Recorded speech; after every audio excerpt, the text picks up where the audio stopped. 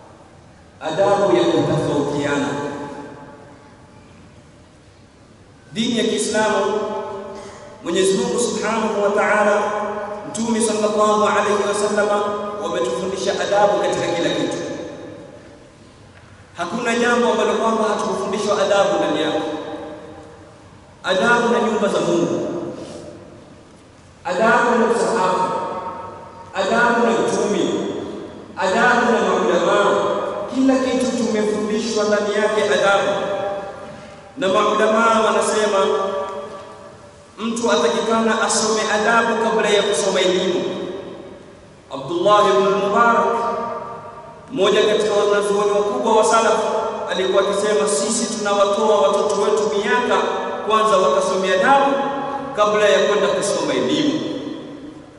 Mmoja katika wanafunzi wa Imam Malik anayejulikana kama Ibn Qasim alikuwa akisema, lazamtu malika asharata sinin, nimelazimiana nimekaa na Imam Malik miaka kumi Wa ithnatani fil ilmi fawadidtu an law kanat kulluha adaba. Asema nimekaa miaka kumi na Imam Malik, miaka minane najifunza kwake adabu, miaka miwili ndio nikakaa kujifunza elimu.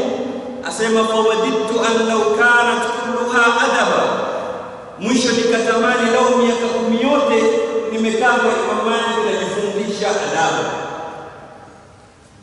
Salafu walikuwa wakitanguliza adabu kabla ya elimu, na ndio maana wakafika daraja za juu.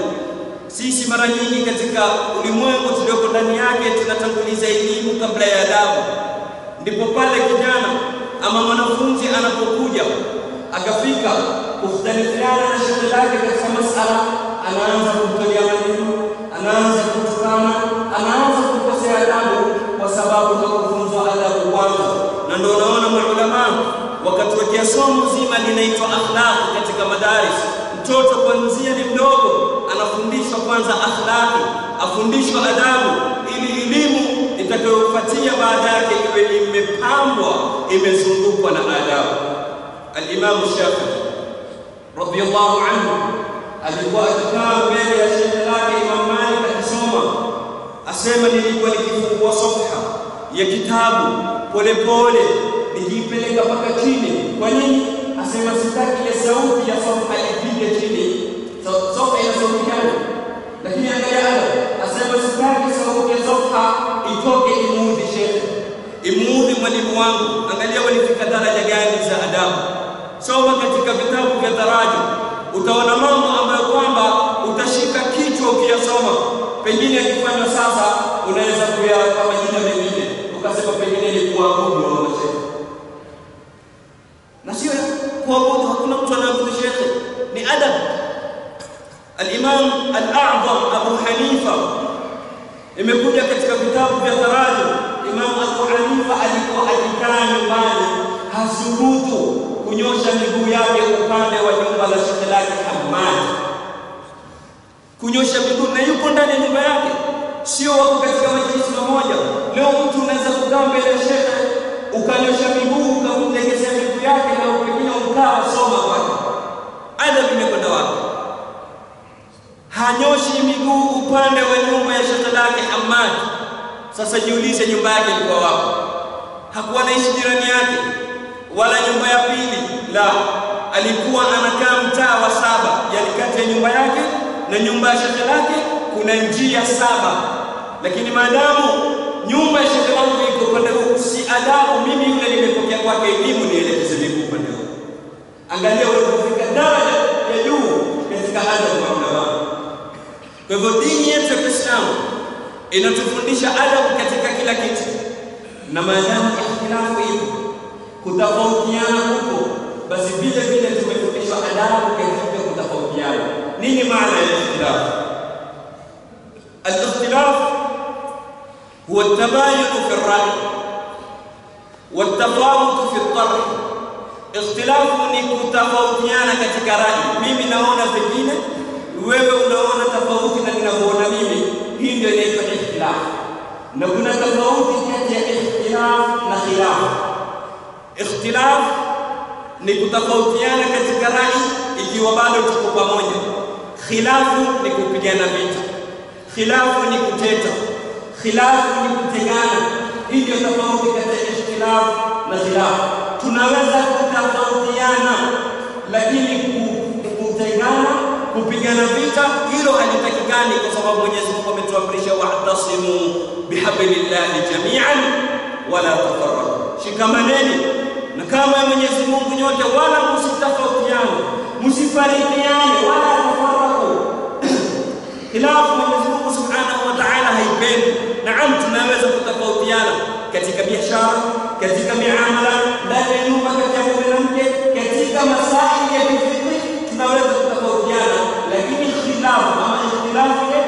haitakikani kutupeleka katika khilafu.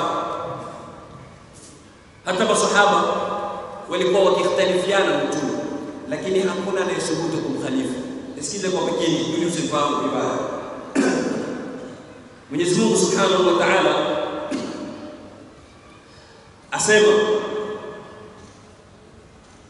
katika kukataza kumkhalifu Bwana Mtume sallallahu alaihi wasallam, falyahdhari alladhina yukhalifuna, akusema yakhtalifuna, asema falyahdhari alladhina yukhalifuna an amri an tusibahum fitna au yusibahum adhabun alim, wachunge wale ambao kwamba wataikhalifu amri ya Mtume. Lakini kitu kinaitwa ikhtilafu, naam, hata masahaba wanaweza kutofautiana na Mtume sallallahu alaihi wasallam katika muono, katika rai, na ndio maana kukawekwa kitu kinaitwa mabda ushura. Shura kwa sababu gani? Kwa nini Mtume anaambiwa washawiruhum fil amri, washauri masahaba zako wao katika mambo tofauti tofauti, kwa sababu huenda akapata rai zingine kwao ambazo kwamba zitakuwa ni munasib zaidi, na ndio unaona katika ghazwat Uhud Mtume sallallahu alaihi wasallam alipokuwa wameweka muaskari yao sehemu walipofika, anakuja Khabbab anamwambia ya Rasulullah, ahadha manzilun anzalakahu Allah am huwa alharb walmakida? Ya Rasulullah, hii sehemu ni Mwenyezi Mungu amekuashiria uje hapa, ni wahi kutoka kwa Allah, umeambiwa uteremke hapa, ama ni vita na vitimbi vya kivita? Umeona hapa ndio unazi zaidi. Mtume akamwambia bal walmakida, ni vita, kuna vitimbi vya vita tumeona sehemu hii ndo munazi. Khababa akamwambia Rasulullah, mimi naona ile sehemu ya kule kwa kwamba kuna maji itakuwa ni vizuri zaidi katika nini, katika mipango ya kupita, kwa sababu tutakuwa tuko sisi karibu na maji, vile vile itakuwa tumewazuia maadui kufika katika maji, tutakuwa tuko katika sehemu istrategi, sehemu muhimu sana. Khababa kakhtalifiana na Mtume na Mtume akamunga mkono, wakaondoka wakaenda na sehemu nyingine kukhtalifiana huku, lakini kukhalifu ndo hakutakikana. Na rai ya Khabab haikupata sadadi isipokuwa baada ya kuwafikiwa na Bwana Mtume Muhammad sallallahu alayhi wa ala alihi wa sahbihi wasallam. Kwa hivyo ndugu zangu Waislamu, ikhtilafu hiyo, lakini ikhtilafu ni baya. Wamekhtalifiana masahaba, wamekhtalifiana tabiina, wamekhtalifiana al-aimma al-arba'a wametofautiana maulama wakubwa wakubwa, lakini hakuna siku ambayo kwamba khilafu yao imezaa chuki, khilafu yao imezaa kupigana, zote khilafu yao ilikuwa inazaa mawadda na mahaba. Sayyiduna Uthman wakati wa khilafa yake wamekwenda haji, walipofika kule wako katika Mina, imefika wakati wa swala ya dhuhuri. Sayyidina Uthman anasema tutaswali rakaa nne ni masafa ya Masri kutoka Madina mpaka Maka ni kilomita nyingi sana, zimevuka zile 85 zilifanya kasri. Ibn Mas'ud anamfuata Amirul Mu'minin Uthman ibn Affan, amwambia ya amira Mu'minin, mimi nimekuja hapa na mtumi hapa katika Mina. Mtumi sallallahu alaihi wasallam akafanya kasri, akasali rakaa mbili. Nimekuja na Abu Bakr akaswali mbili, nimekuja na Umar akaswali mbili. Mbona leo wewe wataka kuswali nne? Sunna ni kuswali mbili sehemu kama hii. Nani? Ibn Mas'ud anakhtalifiana na nani? Uthman ibn Affan, jahaditha, masahaba wakubwa wa Bwana Mtume katika wale ambao walisilimu mwanzo mwanzo. Sayyiduna Abdullah ibn Mas'ud kila kikainaisha Sayyidina Uthman anakataa kabisa, anamwambia kutaswaliwa nne hapa na kukaswaliwa nne sehemu tunayokaa. Je, Ibn Mas'ud pamoja na wale walioishi walijivuta kando wakasema sisi tutaswali mbili, ama waliswali nyuma ya Uthman nne? Waliswali nyuma ya Uthman nne, pamoja na kwa mitinai kwa sunna ni mbili, pamoja na nyuma pale kuna kasri, lakini ameswali nyuma ya Sayyidina Uthman nne. Alipoulizwa baadaye, mbona umefanya hivyo kuswali mbili? Akawaambia alkhilafu shari, khilafu ni shari, khilafu ni jambo ovu, sio ikhtilafu. Ikhtilafu naam, tumekhtalifiana, nimemwambia mimi sali mbili, lakini kumkhalifu ni bovu, ni jambo baya. Ikiwa mimi nitawavuta kando watu, kutakuwa na jamaa mbili, utaleta chuki, utaleta mgongano, utaleta mgogoro. Ina maana gani? Afadhali watu wawe pamoja. Na Sayyidina Uthman sikuwa ajui sunna. Sayyidina Uthman alikuwa ni mwanachuoni, lakini alikuwa na hikma kufanya vile. Maulama wametaja sababu zaidi ya kumi. Sayyidina Uthman kwa nini aswali nne badala ya mbili? Katika kauli zenye nguvu zaidi inasemekana Saidina Uthman kauli aliyoitoa na sababu aliyoitoa ni kuwa mwaka ule Waislamu walikuja ni wengi katika haji, waliokuja kutoka Badia katika sehemu za mabedui bedui kule, watu ambao kwamba bado Uislamu haujafika vizuri kwao. Saidina Uthman akaogopa asije akaswalisha rakaa mbili, wakadhani baadhi yao kuwa adhuhuri ni rakaa mbili. Angalia hikma aliyotumia Saidina Uthman, sio kwanza kupinga sunna. Na hapa muhimu tufahamu, hakuna mwanachuoni yoyote anakusudia kukhalifu sunna. Kila mmoja anajitahidi ili afike katika daraja ya kamali katika kumfuata Bwana Mtume Muhammad sallallahu alaihi wa ala alihi wa sahbihi wasallam. Mara nyingine linakuja swali unaulizwa, unaambiwa tumfuate Imam Shafi ama tumfuate Imam Ahmad ama tupate Mtume sallallahu alaihi wasallam? Ni swali linaulizwa mara nyingine, tutamfuata nani, Imam Ahmad na Imam Shafi ama tufuate Mtume sallallahu alaihi wasallam? Wakufuatwa nani? Wakufuatwa ndugu yangu Muislamu ni Mtume sallallahu alaihi wasallam, lakini swali kwa mafuhumu ya nani? Tutafuata maneno ya Mtume kwa ufahamu wa nani? Ikiwa mimi nitakwenda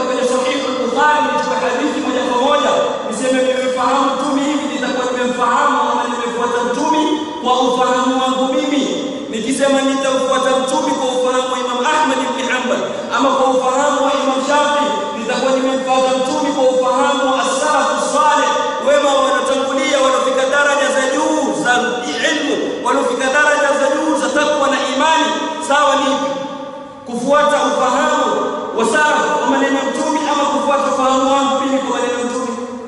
Kwa hivyo aliyefuata ni Mtume sallallahu alayhi wasallam, lakini tunamfuata kwa mafuhumu ya nani? Masahaba walikhalifiana Abdullah ibn Mas'ud na Sayyiduna Uthman ibn Affan, sio waqi. Ikhtilafu zinatokea kati ya masahaba ni nyingi sana, hatuwezi kuzitaja sote, tutataja mbili ili tujue yale mafunzo tunayopata ndani yake.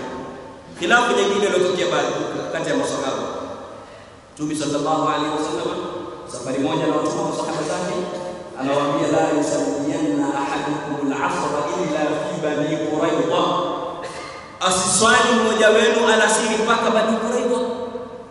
Tokeni nendeni bani Quraidha alasiri, mwiswali bani Quraidha. Masahaba wametoka wamefika njiani, wakati wa alasiri unaingia na unakaribia kwenda kutoka. Baadhi ya masahaba wakasema, sisi tutaswali kwa sababu inna salata kanat ala almu'minina kitaban mawquta, sala ni faraja ndio kwamba imewekewa wakati. Na Mtume aliposema tusiswali mpaka kwa Bani Quraidha, alikusudia tufanye haraka, wala hakukusudia kwa tusiswali wakati, tusiswali swala kwa wakati wake. Yeye ndiye anatufundisha siku zote kuswali swala kwa wakati. Kwa hivyo alikusudia kufanya haraka, maadamu hatujafika wakati wa alasiri umefika, ni tuswali. Nusu wengine wakasema ndaa Madamu ni kauli ni amri ya kutoka kwa Mtume sallallahu alaihi wasallam, hatuwezi kwenda kinyume. Hatutoswali alasiri hata kama imeingia magharibi, imeingia ni siku ya pili, alasiri hatuiswali mpaka tufike wapi? Banu Quraidha. Wakakhtalifiana masahaba nusu kwa nusu, pande mawili. Lakini somo tunalolitaka, je, wale nusu waliosema wataswali walikubali kuswali, nusu ya pili iliondoka ikaendelea na msafara akasema hawa shakhtalifiana na sisi, ah, twendeni sisi.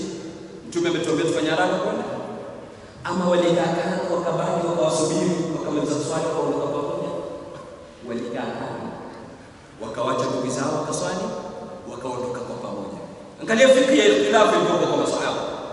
Kama ingekuwa ni sisi hapo, ingekuwa ndo kukatana, ndio twendeni, wachaneni nao wamefanyifu na maneno ya nani? Amri ya nani? Lakini walitambua nini maana ya wahda?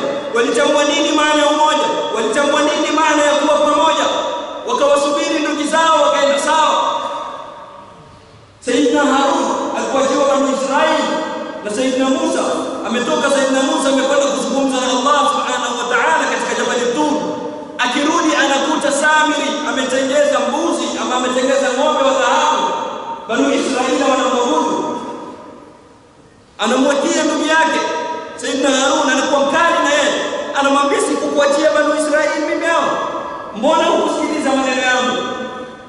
Angalia maneno aliyotoa Saidina Harun, anambia inni khashitu an taqula farraqta baina bani israila wa lam tarqub qawli, nimeogopa usiyokarudi Musa ukaniambia ninawagawanya. Hawa jamani, wafanya shirki. Wako kwa kugawanya na wafanya shirki.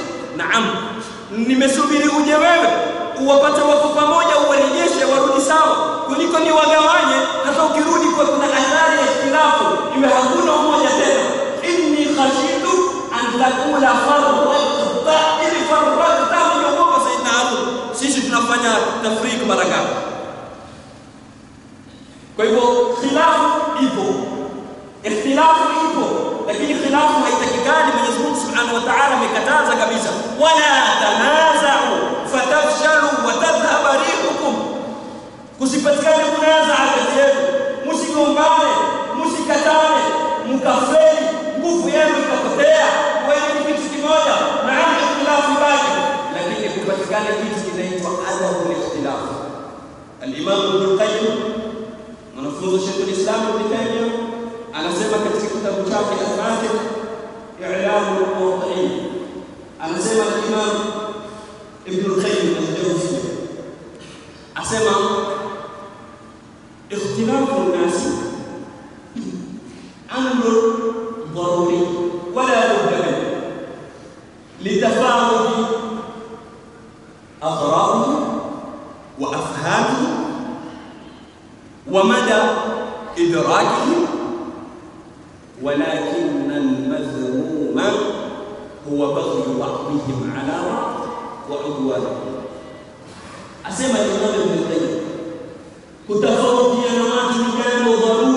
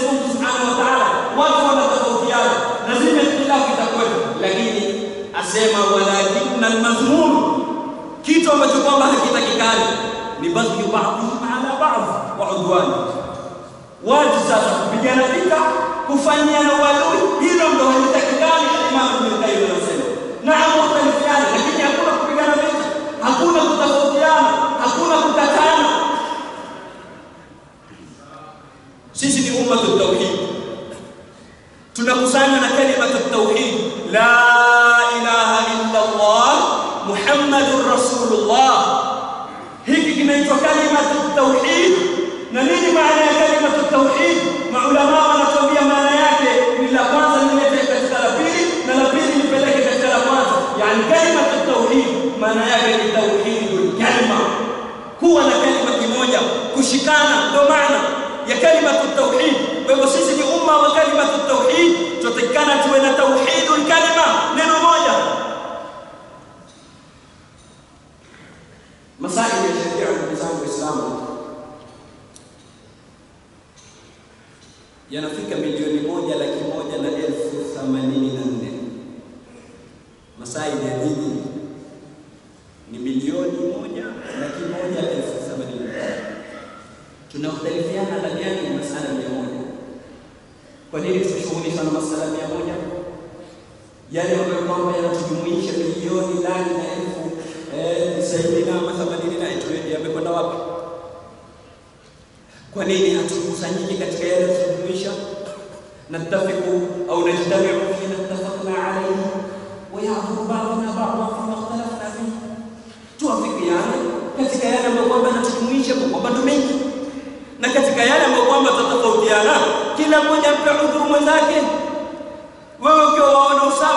kutingisha kidole katika swala. Tingisha ikiwa wewe una sawa sikutingishe sitikishe lakini kila mmoja ampe udhuru mwenzake kwa sababu maadamu ana hujja ana dalili lakini ukosefu wa adabu ni pale sasa unapokuja. Unamwona mwenzako anatikisha kidole unaanza kumtolea maneno. Ah, Akiwatingisha kidole wampiga shetani. Kidole kidole kidole hapa tunakosa adabu adabu ikhtilafu, tunaikosa hapa. Ama anakuja mwingine anakwambia utafungaje mkono katika tumbo bana, funga kwenye kifua bana, tumbo lina najisi. Sugelia cha nyumbani, shehe, kuja nalo msikitini bana. ndio ndio tunavyokosa adabu.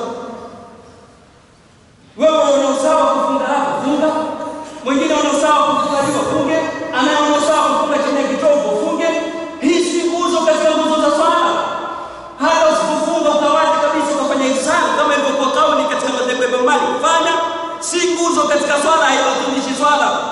Kinachotafutwa ni ukamilifu wa sunna, na kila mmoja ana dalili yake katika hilo. Kwa hivyo kila mmoja ampe udhuru mwenzake katika masala ambayo kwamba tumekhtalifiana, maadamu mtu ana dalili yake katika masala kama hayo. Na kama tulivyosema, hakuna mwanachuoni anakusudia kukhalifu maneno ya Bwana Mtume sallallahu alaihi wasallam. Kila mmoja katika kile ambalo kwamba amelipata ndani yake ana dalili na ana kwani ndani yake.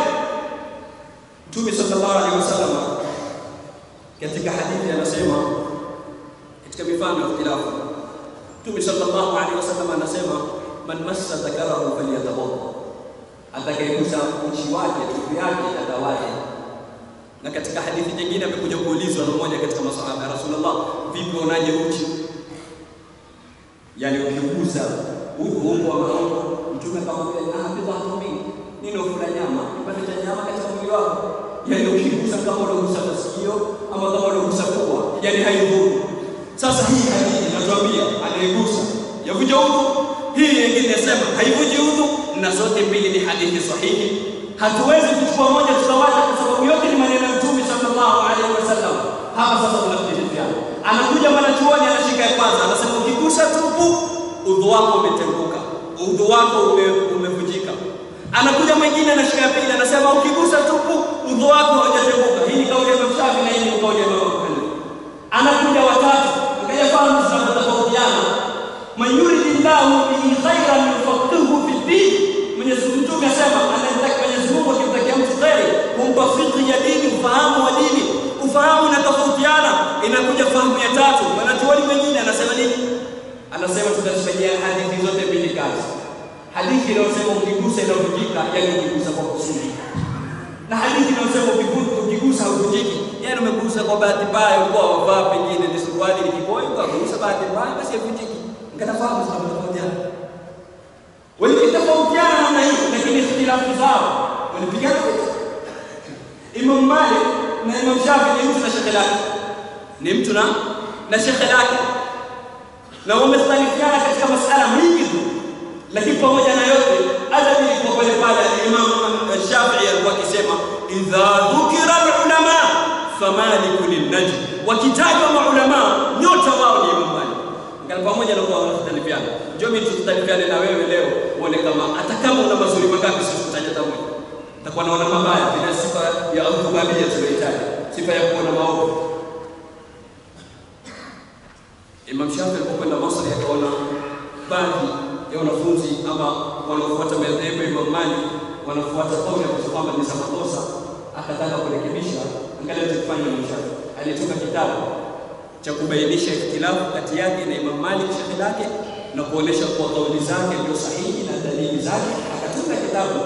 Lakini tunakopataka ni hapa, kilipokuwa kinaandikwa kile kitabu, yule mwenye kuandika mwenye kumwandikia Imam Shafi aliandika ikhtilafu Shafi'i wa Malik ikhtilafu zilizo kati ya Shafi na Malik. Imam Shafi akaokali, akamwambia futa, andika ikhtilafu Malik wa Shafi'i, mtangulize Malik ni shekhe langu, si adabu nitangulize mimi kabla yake. Shekhe wako katika kukhtalifiana, lakini wanachunga adabu. Angalia hii mandhari ndio walipofika, wako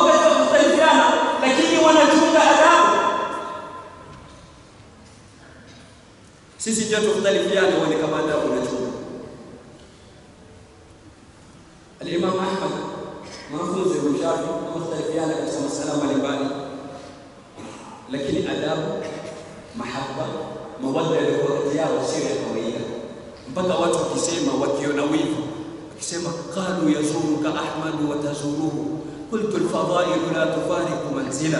In zarani fabifadli au zurtuhu fabifadli فتنظر في حالتيك وانت سيما اما ما أحمد وجهك تتبليها أو قيدك تتبليها اسيما قلت الفضائل لا تفارق منزلك بسبب إمام أحمد. فضل هزتوك كتك جبياك اكيني نيجي يولتيا نكي مويندايا نمبلك نايدا كتكوا باك فضل. فضل كتك حالي زوتا بيلي نزاك لاني ما نفسي باك اقال يا محمد لو كتياه هذا من لو كتياه أنا بيت إمام شافي لكي بانجاك سموجا أنا توقع كم أحمد. لك ya yule mnyama wake. Mpaka watu wanashangaa. Mmoja katika maulama yake ya Ma'in anamwambia Ahmad nafanya nini? Amshangaa kwenda kushika kamba ya, ya huyu kijana. Amwambia ungejua elimu uliokuwa nao ndio kushika upande pili angalia adabu iliyokuwa kati yao. Kwa hivyo kuna haja ya zangu Waislamu tujifunze adabu ya ikhtilafu na thaqafatu al-ihtilaf. Tujifundishe adabu za kutofautiana. Tukijifundishe thakafa ya kuwa pamoja thakafa ya kulingana tutatofautiana na kila mmoja wala tuseme lazima kufuata hivi la hiyo ni siasa ya nani? Siasa ya ya Firauni. Alikuwa akisema ma uridu illa ma ara lile naloliona mimi sawa na nataka tu.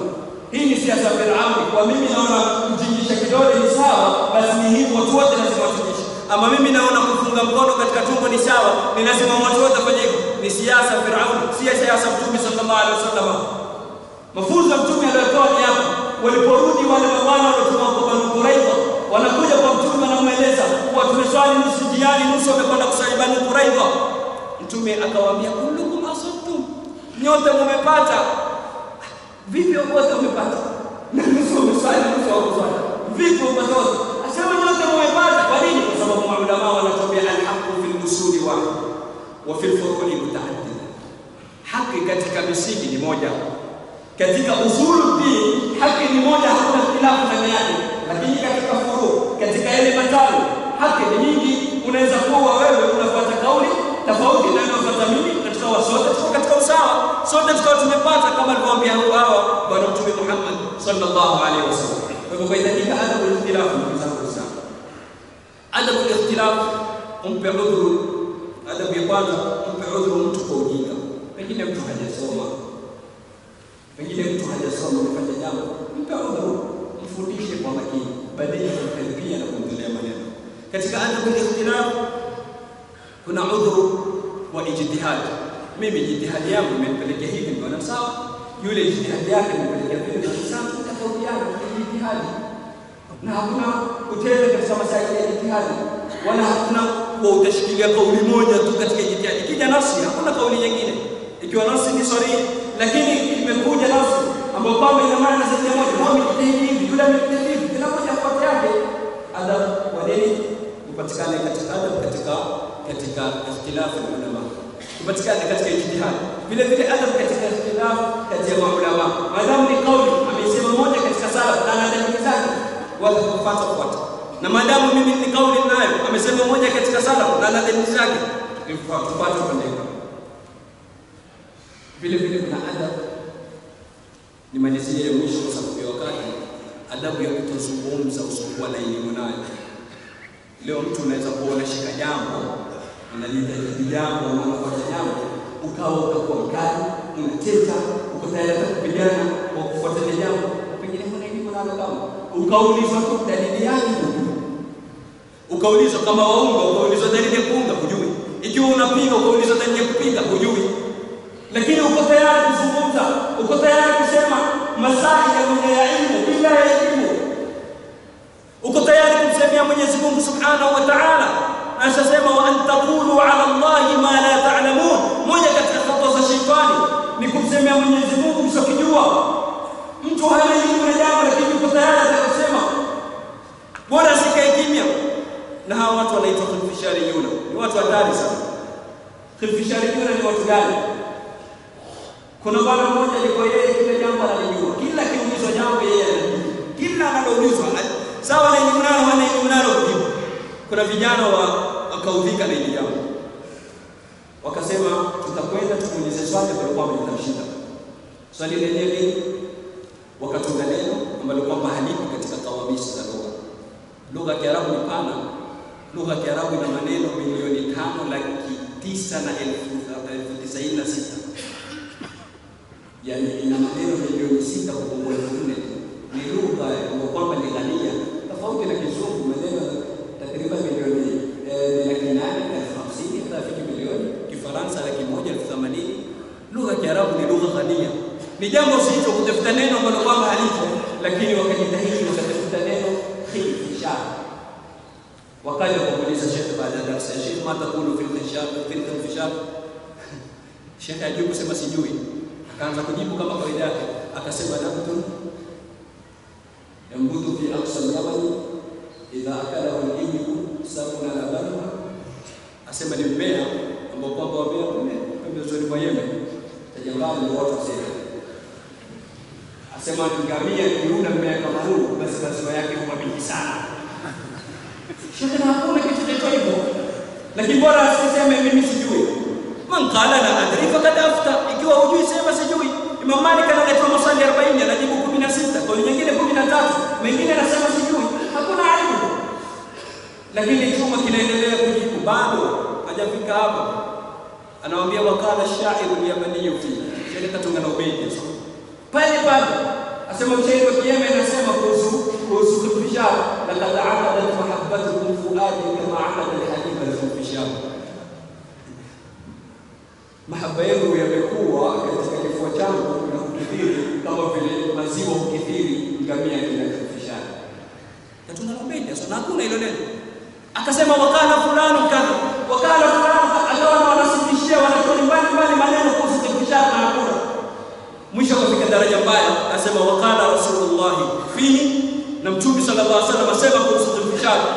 Ah, mabana anasema hasbi kadhabta ala wa kullihim fala takzib ala rasulillah. Tosha, wote hawa umewasema urongo, lakini kwa mtume usipige, usimtumie mtume sallallahu urongo.